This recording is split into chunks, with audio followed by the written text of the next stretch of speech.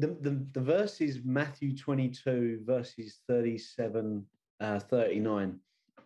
Um, love the Lord your God with all your heart. So this is this is Jesus talking to the Pharisees. He's answering the question, uh, "What is the greatest commandment?" And uh, he says uh, his response is, "Love the Lord your God with all your heart, with all your soul, with all your mind." This is the first and greatest commandment. The second is like it, and and uh, love your neighbor as yourself. And um, I want to start from that place and, and, talk about what does it look like. Um, I believe that God is calling us um, to go into a deeper uh, place with Him. The, there, there are no boundaries. Um, there's no limits. Age, uh, length of Christian walk, denomination, understanding, natural abilities. Um, God is calling us beyond all of that. He's calling us into greater intimacy. He's calling us into a depth of relationship that goes far beyond what we, in our own minds, can expect. Um, all of all of the world will teach us certain things, and God says there's more. Jesus died on the cross so that we could be in relationship with Him. Um, and that is a born again birthright. When Jesus died, he became our sacrifice. And I know I'm telling you this, guys, and, and you all you all know this. I get it. Um, but when he became our sacrifice, he's deaf enabled us to um, believe and then become holy and righteous. First Corinthians um, 1, verse 30 says, It is because of him that you are in Christ, who has become for us wisdom from God. That is our righteousness, holiness, and redemption.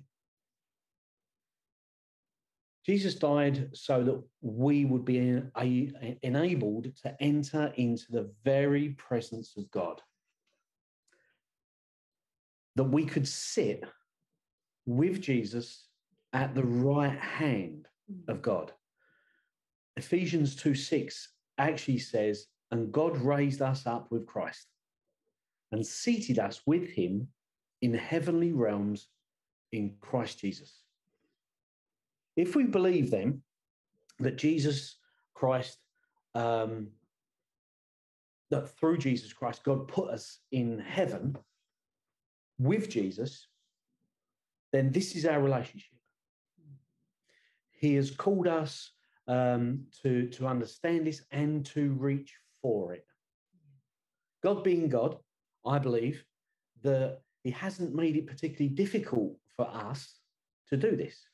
In fact, I would say that He's made, made it as simple as He could. All that is required is to believe. Um, and Jesus said, faith is a mustard seed. So all we've got to do is believe with that tiny little bit of faith. And you know what? If you ask for it, he'll even give you more faith. How easy can this be?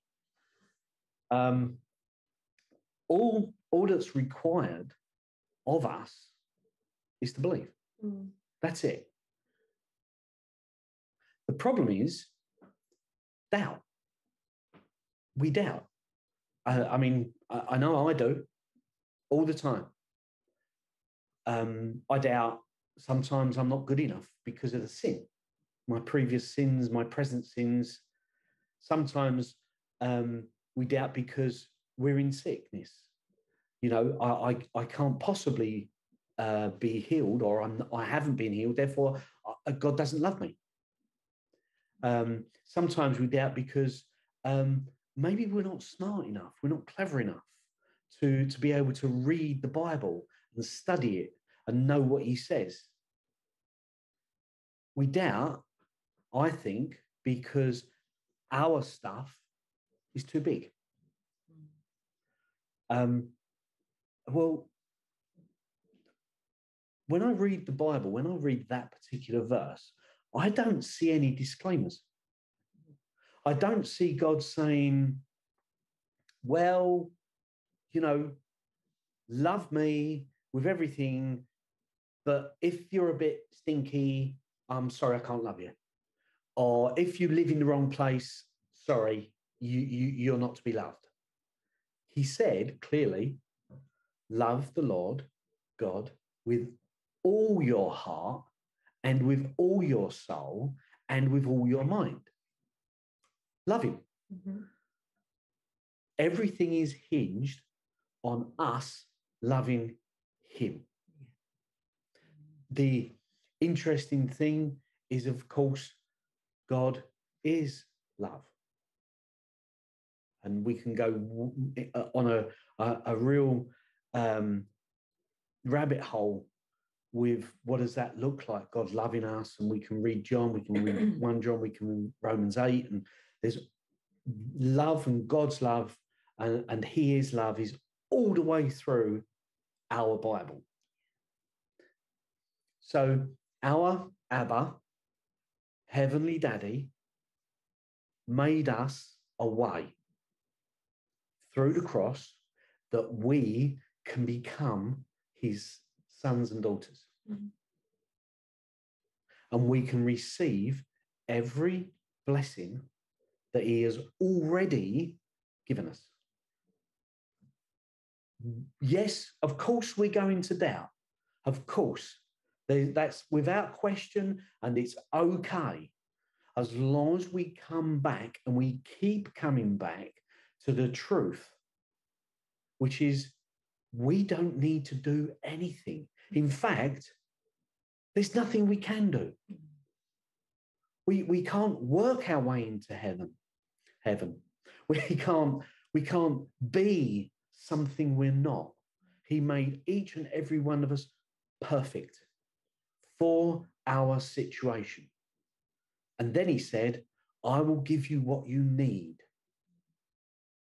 In fact, I've already given you what you need. All we need to do is believe.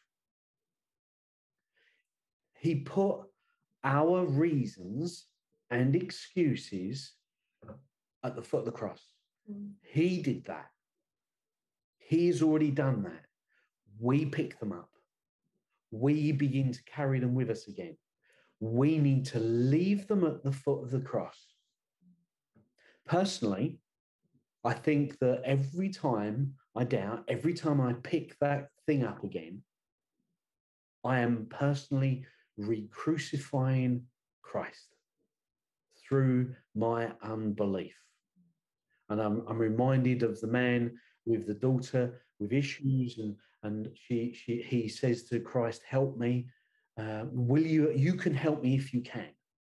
I'm paraphrasing because I didn't actually get this scripture. And Jesus says, Of course I'll help you. And the man prays, Help my unbelief. I believe, help my unbelief. He, I know that that that verse went all over the place, but I'm sure most of you know it and understand what I'm trying to say. The price that was paid for us by Jesus being killed was enough. There's no doubt there. It's biblical, it's truth, there it is. Jesus was enough. There's nothing else we can do. There's no price God is expecting us to pay. Yeah, there might be things that we need to do. There might be things we're drawn to do, we want to do, and they're all good. But the deal is done when we believe. We give our lives to Christ and, and we move from one place to another. It's done. That's the starting place of our faith. There's no more. Um, and I guess with a, with a couple of minutes, I just want to say one more thing about that very first. It's it's so interesting to me that God says, um, uh, Jesus says about God that that loving Him is the first and and the most important commandment. And then He says, and the second is like it. Now, we tend to sort of brush over some of this, but I'm going to read it. And the second is like it love your neighbor as yourself. And we, we think in our mind that that is telling us to love our neighbor. That's cool. It is telling us that. But did you notice there that it says, love your neighbor as yourself? Love yourself first so that you can love your neighbor. Yeah. Now, I believe that God isn't saying, oh, well, if you love yourself a little bit, it'll be fine. Um, he, he isn't saying, you know, that it's okay not to love yourself as long as you love him and your neighbor. Loving ourselves is second loving God. It's just under our love for him. And then the love for our neighbor is next. Mm. So I, I, know that I've been in positions in the past where I've looked at myself and, and I haven't I haven't loved myself very well. Well, that's okay because God will even give me the love for myself. As long as I love Him, He will show me how to love myself. Yeah. And then I'll love my neighbor. And of course, what he actually saying there is only love the nice ones. no, he's not. He's not saying that. Your neighbor is the person next to you. And what that means is everyone else. That's how I take that. Mm. My neighbor is everyone. Oh, no, it's only believers. No, it doesn't say that. It's only people in, in the country that, no, it doesn't say that. It's only the people I like. No, it doesn't say that. It says your neighbor, which is everyone. Love your neighbor as yourself. If you have problems loving yourself, you're not going to love your neighbor.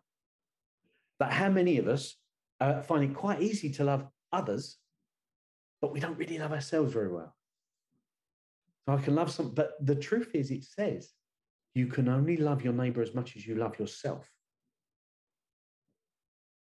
So um, I hope this hasn't been too too full of condemnation. But uh, what, in closing, I guess what I want to say is everything's done. It's all finished. As Jesus said on the cross, it is finished. We're done. All we have to do is believe as a mustard seed and follow his love. God is love. He is in us. He's around us. We're in him. He's in us, as John says. All we have to do is love. That's it. Follow the lead. Yeah, we doubt. That's fine. Follow his lead. Follow the path of love.